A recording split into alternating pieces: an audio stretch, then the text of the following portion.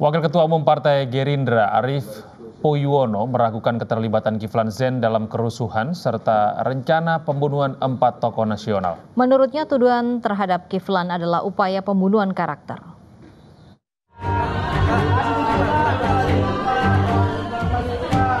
Menurut Arief, latar belakang dan kiprah Kiflan Zen terhadap negara harusnya tidak perlu diragukan.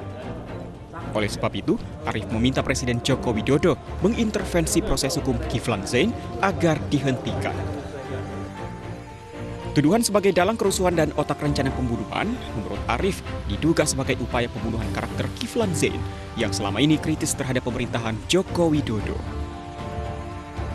Kasus ini sebuah kasus politik akibat dari eh, pemerintahannya dia dalam menyelenggarakan pemilu ini ada ketidakberesan. Ya, ini yang harus dan saya minta juga kepada Pak Joko Widodo agar didapat mendapatkan karunia ya dari Tuhan ya agar meminta para penegak hukum dan menteri-menterinya untuk menyelesaikan kasus ini dan menghentikan kasus ini bahwa kasus ini kasus politik sebab apa agar tidak ada hasil dari pilpres ini tidak meninggalkan sebuah kebencian permusuhan lalu kecurigaan ya ini penting ya. ya.